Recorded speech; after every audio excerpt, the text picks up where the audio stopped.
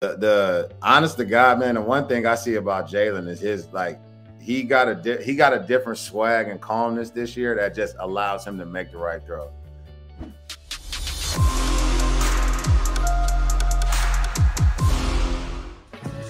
All right, we are back. We are Sports Take on this Thursday. Derrick Gunn, Barrett Brooks. I am Rob Ellis. Thanks for hanging out with us today. Can't wait to talk to our next guest. Uh, was an Eagles linebacker special teamer, played here from 2013 to 17. Of course, also played in Jacksonville as well. And you see the helmet right there. Yes. What up? What up? What up? How's it Yeah, good? What's baby. up, my man? How you make it out? I'm doing good, man. How you guys doing? Down Good, here? man. Good, Good man. to see you. Wh- Yes, where sir. are you? Where are you located, Najee? Where, where, where are you? I'm where, where actually you right at uh, Jax Beach, man. Weather in the storm. Uh, uh, okay. to come up to the game, but um, got sat down here. But all is well, you know, all is well. God How is- how is it in your your neck of the woods? Is it as scary as some of the stuff we've seen, or not not quite? as yeah, bad? yeah. I mean, I, I got family and friends, guys that I know used to play in Tampa. They got hit pretty hard, but up here, it's, it's, it's all good to go, man. I was actually with Marcus Pollard and the guys uh, earlier in the week, seeing how they were doing. Mm. Everybody excited for the game, man. So they ready to come up there and uh, you know play a worthy opponent. There you go. That's what's up, man. That's the big thing right there. Where the opponent now. Uh, earlier on, when we first got the schedule, they weren't thinking they were going to be playing. The Eagles weren't thinking they were going to be playing a worthy opponent. Now these guys have came out and uh, showed pretty much that um, Doug can coach. He knows what he's talking about, and and they're following suit, man. Man, it's it's funny to see Doug. I saw him in the preseason, and his whole entire demeanor from two, 2017, 18, winning the Super Bowl to now has not changed. And No, it know, hasn't. Okay, tell us a little bit about that. Yeah, man. I mean, uh, just kind of seeing him come with the team. You know, obviously Jaguars went through the ebbs and flows last year. Everybody know the story that happened with, uh, you know, Urban and everything. But you know, just to kind of weather the ship to see where Doug is taking our team in 16 and then 17 when we won the Super Bowl. You know, I feel that same energy here. And the good Yeah. thing about it is, you you know, he's a good coach, man. He knows what he's doing. He he has a young quarterback, and he put a lot of coaches that are quarterback offensive minded Yep. around Trevor to Yep. really show him that perspective of the game. And at the end of the day, he finished with everybody go eat some ice cream. So the players love him. Can, can, can, can, can you let us in on what it is about Doug that gets the best out of players? What he got out of you guys 16, 17. I thought, and I've said this a number of times over the last couple of weeks, I thought Jacksonville would be at least a year away from being a competitive team. You look at the money they spent to bring in free agents and stuff, Yeah. and everybody was laughing about them paying Christian Kirk that kind of money. Oh my goodness, he's fit right in. Okay, you look at some of them the drafts they've had in the last couple of years. What is it about Doug that's able to get these guys to not just play at a high level, but another level for him? I think it's uh, multiple reasons, but the two that really stick out is uh, one, Doug was a player, so he Right. understands. You know, he's he's seen what the game does to people and how it treats them, and he's a coach that wants to treat people right. When you have that feeling of you know being good, you know, God first in football, man, he he wants that to be in his team, and you can immediately see that like type of energy flow right into the team, and you saw that happen in 2016 and 2017 with our team and then you get the you know the other added advantage of that you know Doug being a quarterback understanding the business of the game he has another edge on top of uh I think a lot you know just knowing how how he needs to spin the pieces the right way. Because to Doug I feel like he's just a an extension of Trevor being on that sideline he knows what pieces he needs he knows what parts he needs and he wants to run his offense so he came and put the coaches around him to do so and then they went out and got a hell of a defense, man, picking up with the first round pick with uh, you know, Walker and then definitely adding in uh old boy from the Falcons that linebacker. And then they had some players just step up that want to play. And when you get those key pieces around, man, you uh you know what you're doing. Najee, w- when you like Doug takes over for Chip when he was here, and it was you know kind of combustible situation, and he kind of smoothed the calm the waters. Do you see that parallel there with what was happening with Urban Meyer now and what's going on with Doug with that team? Oh yeah, definitely, man. It's uh it's it's very comparable. What I definitely see and I like um that he's doing is taking the quarterback and Trevor and making the most out of him because he is a you know he's a great talented athlete and um you know this is going to be a real test for him because the offensive line go get tested this week you know heavily with Fletch and my boys up there and then you know he's definitely going to have to make some tight throws with the way the defense is running and I know Kyzir White that dude is a hell of a linebacker they've been running around so he's going to he's going to definitely be thrown in the fire man we got to see if he uh you know That's right, Kyzir. Yeah, that's right. That's little right. little college ties right there. Yeah, Yeah, okay, okay. that's right. I knew, Well, I hey, knew, I knew where you're going with that. Yep. Yeah, I know. In fact, you guys just got Trot's son. We got to yeah. represent, man. We got to represent. You got your boy. You got Trot's son also. Yeah. Oh yeah. Trot's yeah. son yep, to yep. with him. Yep. But yeah, um, he is a beast, by the way. He yeah. is a beast. But you know, look at the stream, man. You know, I mean, it's evident. Where the hell is our special teams at? And the stream is like, all right, we need to bring Najee back, man, to jump because our special teams right now is is is is, is not showing up. We got two thirds of the team that's there. We need that one third of special teams, man. We're not doing it, man. Do you guys have something in special teams that's looking all right, man? That we got to worry about? I say that uh, with the special teams player that everybody know of, definitely is with Christian Kirk and then Jamal Agnew. I'm telling you right now, man, it's nobody can deny the speed. You know when you yeah. see so, uh, it's enough highlights to go around where I think I don't even need to comment on that. But I think with the Eagles special teams, man, it's is they, they got such dynamic stars and athletes, man, that those cats can make the plays when needed. They just need to start doing them more consistently. And then with yeah. you know with Jacksonville and everything that they've done, um, sorry about that. They um you know they really you know, they really understand, I think, in total of the game and where the team was deficient last year, Doug knows where to add it to be efficient and then, you know, keep moving forward. Hey, Najee, uh, I, I, don't have to tell you this, but uh, Jalen Hurts has become the Pied Piper of Philadelphia after just three weeks. And you being a defensive player, and obviously you had to study a lot of quarterbacks in your day. Tell me what you see most about him that jumps out at you.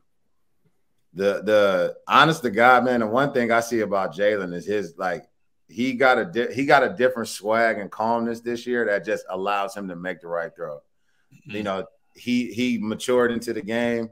You saw him kind of making fluster throws. You saw him maybe trying to fit yeah. things up last year, going to the games. Like now, he's just he back with his boy and AJ. You can just see he got a comfortableness and a, and a calmness that you know Jalen's thing that stick out is that for one, he's strong as hell.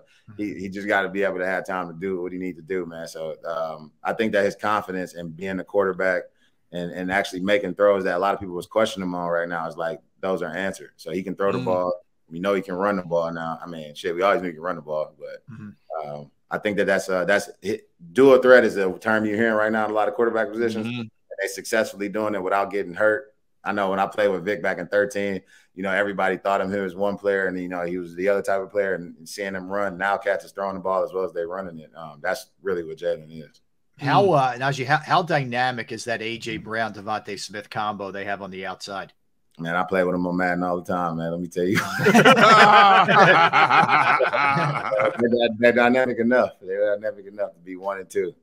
Well, you know, looking at um this year, you, you know the Jacksonville defense, man. They they added Lloyd, and Lloyd is taking his mm. game to another level, man. He can run, he hits. You know, I'm saying leaving Utah. You know, I I, I thought he was the number one linebacker uh, in the draft, and we went and got the number two linebacker in the draft. But he is man, he's playing long, he's playing efficient. You know, tell me what his traits were making him so good his, his rookie year. Man, it's uh, it's funny because that dude is not that big, but when he hit, man, he like looks thin. Yeah, yep. yeah, it's a wall hitting you, and his his athleticism and speed for the game um, right now, being young and durable, like his speed is really his instincts is something that stuck out. You can see that in college, but um, it's a testament to Doug, man. He see the what the players are great at, and he just let them excel. And I, I got a couple friends that's you know still on the team from playing down here. And when he first got here, they was telling me Lloyd was just running around trying to hit everything, and now he know what to hit. so you can definitely see he definitely know what to hit, man. Can you make that comparison? Can you make a comparison, or would you?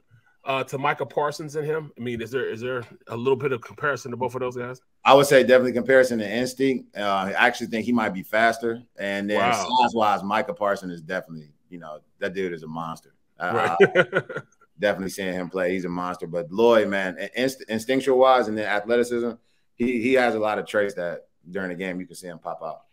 Is that linebacking core down there the, the strength of that defense? Yeah, I would say it's a, it's a combination between that and the D line, and the D line is young. Like the D line that, that that Jacksonville got now is like a young D line that we had in Philly. I could see. Wow you got a guy on his fifth, sixth year like BG mm-hmm. was when we brought in some new dudes, or with Trent Cole and BG, with Josh Allen and, and Travon Walker, and then the defensive interior line is really yeah.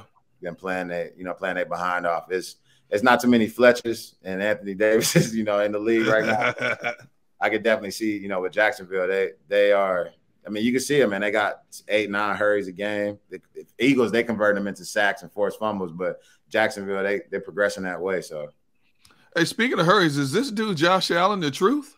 Man, that dude is the truth, man. When I my, his rookie year, we called him the LeBron uh, uh, football, man, because D line wise, he, he he's lean, he's built, man. He like you know six six, true. I would say maybe six five, six six, but he he so he looks so athletic. Look like he can play linebacker, and if he loses a little bit of weight, like he can play safety. And the transition that he made from being a Pro Bowl rookie to coming back and uh, standing up and playing outside linebacker, I, I, would say he's one of those you know one percent athletes that can do it all. Mm. Najee, how good's their offensive line? I mean, we, we only two sacks allowed. Is that a tribute to them, or is that Trevor Lawrence gets the ball out quickly? You know, what's going on with the, the other teams not able to get home there? Yeah, the, the the Jaguars offensive line actually has always been the strength, I think. Um, and with James Robinson, they they get vertical. Like you, you know, Jacksonville's offense, you're seeing scouted. It's not a it's not a sideways offense. You know, it's it's it's mobile with Trevor. They they allow Trevor to get out and make some throws, and that's a testament to Doug again. But they get after him, man. That you know, they had that long run on that counter, you know, mm-hmm. for a touchdown last week. But you know, against teams that you would, you know, think that they might try to scheme up, they running right at him. And uh mm. Doug is gonna try you, no matter what. well, tell, tell me a little bit about you know James Robinson. You know, I I, I I remember I did a game with Travis Etienne. You know, when he was with Cleveland, and when he's every bit of a four four four three guy speed. But uh Robinson's taking over, man. He's the starter now. You know what made that transition happen? Man, I think yeah, uh, that dude is just straight up. If you want to look at a word underrated, like that's mm-hmm. what what you know other teams missed. He's underrated, but the balance that you just mentioned with Travis Etienne, they have a true like you know a smash and slash back uh, tandem backfield. And the good thing about James is that James was in the offense with Urban Meyer, where he had to become that that catching receiver. So he actually progressed his game a lot his rookie year that allowed him to be a running back this year, but still allowed the offense to give mismatches with Travis Etienne on the side or you know lining them up out of backfield running routes. So they got they got a couple personalities. That's why I said it's gonna be a it's gonna be a good game against some good, good contenders. But if the Eagles D line is playing the way they play, it's gonna be hard for anybody. I, I, was going to ask you about their about the secondary, not you, the Eagles, and, it, and it's not there are not too many teams that you can single up a Justin Jefferson or you know I mean I mean take your pick on what's been going on the last few weeks with them. Wow, what a great advantage that is where you don't have to give extra help there, right? Man, I'm telling you, like I yeah, that boy Slay. I seen his interviews. It's Slay. Like I, like, yeah, not not Darius. It's just Slay. Yes. Yeah, it's Slay. Like I I I I uh I played for uh Gannon when we had Matt Eberflus as our coach in Indy as a defensive oh, coordinator. Okay, yeah, yeah, yeah. And um, I seeing the defenses that the Eagles run, and when when we had you know the DBs that we had there, I can kind of see what he's doing and to be able to have a talent like that playing in Jacksonville with Jalen Ramsey, it was the craziest coverage I've seen because our defensive line used to um used to actually I mean our defensive coordinator used to actually come over and say like look let's leave Jalen on the island. Like they can do those things with the Eagles defense that allows you to do so many more creative things and um, I think you know Slay proved that. He proved that you can do that to him. You can leave him out there and uh, with the defensive line yeah, you only, you only got to cover for three seconds three and a half seconds right it's funny you said that because I had seen I hadn't seen that until they played against Jefferson and mm-hmm. they manned up Jefferson at times and I hadn't seen that not an Eagles defense in years and years and years, you know. So having that, you know, compliment of guy, and then you have trust in Bradberry and and Maddox, it oh, really oh, opens it up, man. Yeah, yeah, and they from what we had the Super Bowl year, we had we had a big defense, man. Malcolm playing linebacker, playing yep. safety. Yep. You know, we had we had cats that like Chris Long, you know, all of the uh, multiple, you know, guys that we had. The size of the defense that we had, you know, it was just a lot bigger now. And you see that the Eagles have got Kyzir White play safety, play linebacker. You know, Haason is doing a, a, bunch of everything. So like you can really see where they have the talent and the, and the, and speed and agility. They're they're capitalizing on that. And Gannon, I mean, he don't blitz that much. I don't think he blitzes really too much at all. No, not at all. Yeah, because he trusts the guys up front. Exactly. So you you got those guys. I mean, you, you can give time to cover and roll some of those coverages up over receivers like that. Hmm. Hey, take take me back for a moment to that 17 season. Um, when you look at the moves Howie made to make that team a stronger team, um, bringing in some of the people he brought in, LeGarrette Blunt and, and, and Alshon and guys like this, you guys knew you were going to be a good team. But then you go through the, the journey and you're losing not just players, but future Hall of Famers, future Pro Bowlers. Um, when you sat back and, and, and, and, and just soaked in that moment at the conclusion. Were a lot of you guys surprised that you were able to do what you did, consider what you had to go through to get there? I mean, yeah, it was that that season. It was a will and an energy around the town, man. Like thankful to the alumni, to the fans. That was something different. But even being there, like just being in Minnesota, watching the lights change colors, it was. It, I'm not gonna lie, it was a bit of a shock. I would say the Super Bowl is the best game ever put on in sports by the NFL. They can definitely take that one. because uh, it was a stage, man. As cold as it was in Minnesota when we got into that Woo! stage, man, it, it was a unbelievable, it was, man. It was unbelievable, and to relive the moment that we went through through the past and like playing the Patriots, see, you know, going back watching the highlights from 03, 04, mm-hmm. and all of that, man, and just kind of like you know walking through that time that time lapse. It was, I would say, yeah, it's hard to believe, man. You got a great reminder and, and the hardware that we got, but um I, I, what I will say that to the future is I can see it happening again very soon. Yeah. yeah. Wow. Okay. oh, well, let me because I, I ask the players this all the time. I know how people felt that the day of the Super Bowl in Philadelphia, there was a weird sense of belief. Like we're usually waiting for the worst thing to happen in Philadelphia. We, we we've been trained that way, right? Um, was there was there like an overriding confidence, a sense that you know we got this today, even though it was the evil empire you guys were going against? Yeah, I mean, we we lost a lot of big time players that year. A lot of people don't really know because of what Foles did, man. I mean, like you know, Sproles went out with injuries, Jordan Hicks went out with injuries, JP got hurt. I mean, like we lost a lot of things in that on that team during the season, but kept winning the way we did. And when guys like Mack Hollins stepped up, and you know, we had all of the, you know, LeGarrette ran how he ran the entire season, and Alshon had the year he had. I mean, it was it was so much good that just overpowered. I think you know, when fans got to the game, they was like, look, you know, the Eagles fans gonna be the, the way the Eagles fans are, mm-hmm. regardless. so it was just like now, since we've won through all of this turmoil, I think I remember when we played Denver, we we we like you know, killed them. Yeah, we killed them, and and it was like one of those games where we were kind of going through all of those injuries, of transitions, and everything that was happening, and to see how much energy that was, one o'clock game, nobody even thought anything of it. We came back, watched the film, came back, and Jalen Mills had like a pick six against the 49ers, and like it was just so many things that was happening outside that the will to win in the town. You know, cats being around. You know, Bear was there, beat off yep. was all there. You know, it, it, it, was like nah, y'all. It was almost like to for, for us, for them, it was like y'all can't lose. Like y'all can't lose. We, exactly. And we like, hey, hey, hey, hey. You gotta make this happen, man. yeah. hey, hey, most of you guys had no history of the Philadelphia frustration, you know, coming from different parts of the country. Um, you knew you had a rabid fan base, you knew you had a loyal fan base. But once you won it, did you guys fully, a lot of you guys fully understand what this meant to this city? Now, I'm not even from here. I'm from the Midwest, but I've been here a long time. Could you fully grasp what this meant to this fan base and to a lot of people's families who members were no longer here and what it meant to, the, to just the legacy of the fan base in this city? Yeah, man. I like, I just from what I went through there, I definitely did. But to see the younger guys get the glimpse of it really eye opening. It was like we was winning through the season, and then yeah. we ended up winning the Super Bowl. And when we came back, I remember I seen um, um, Pumphrey and then um, Jordan Hicks and like some of the you know some of the other guys that I just got there not too long ago. Yeah.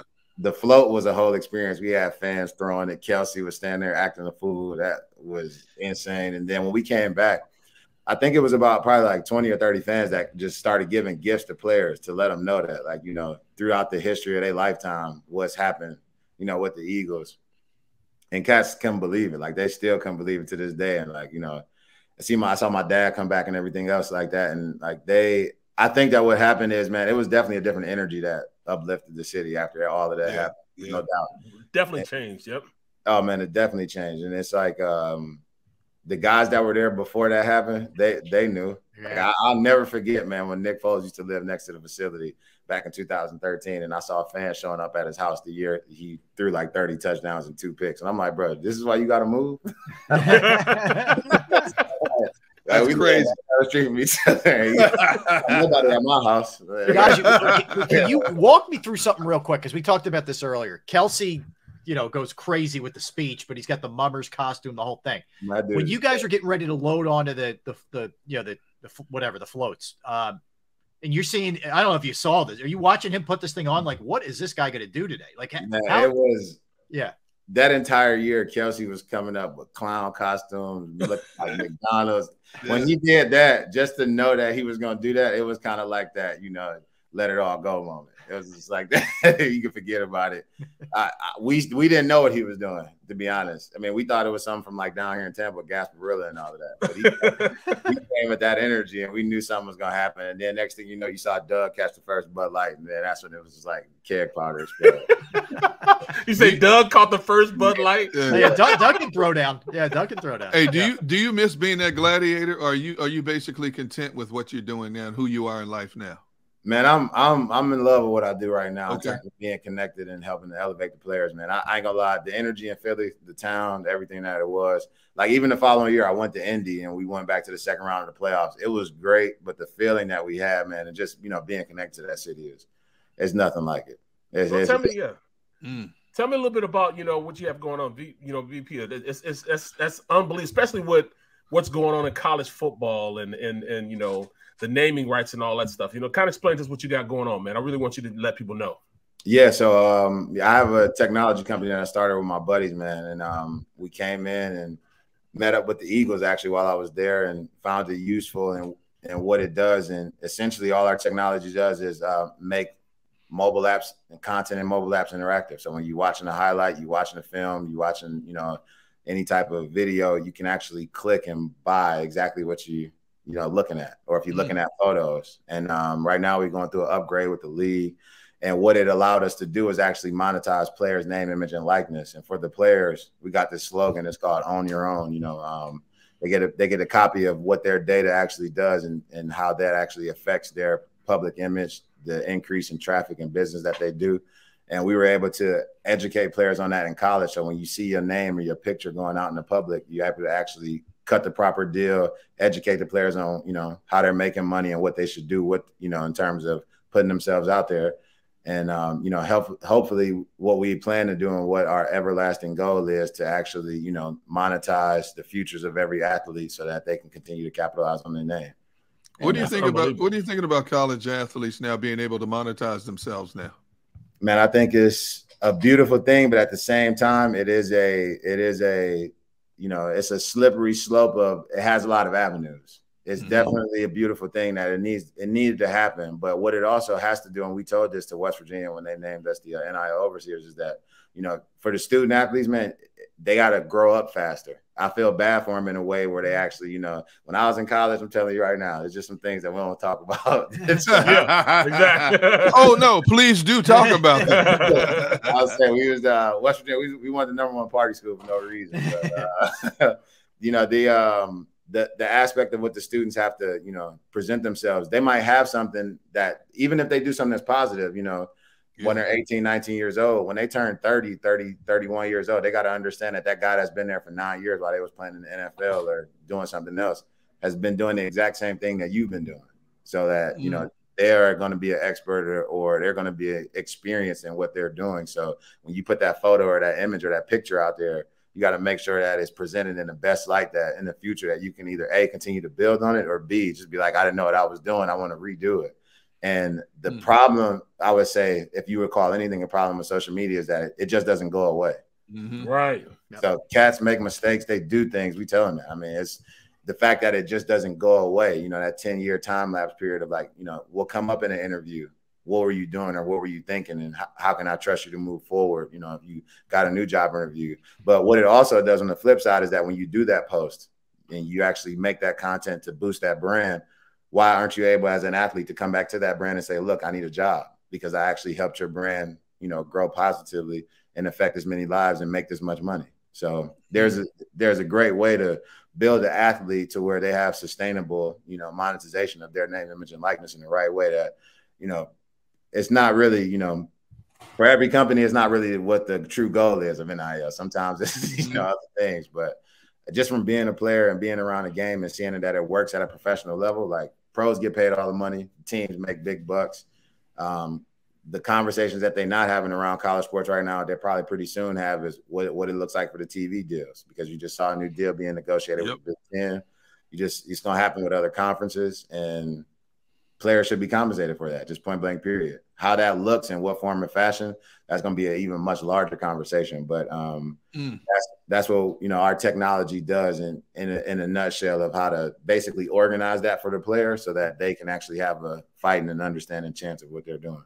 Well, Najee, on that note, and you you played it at you know a big time college football program, but ha- what happens to like the sort of mid range, the the lower D ones? Like how how do they get just kind of swallowed up by this? In, in, in yeah. Of, yeah. yeah, that's like the biggest thing. I mean, that um, I've seen that's been not only eye opening, but um, what you know it's not talked about because you everybody knows you know the the CJ Strouds and they know all of the big tank big yeah.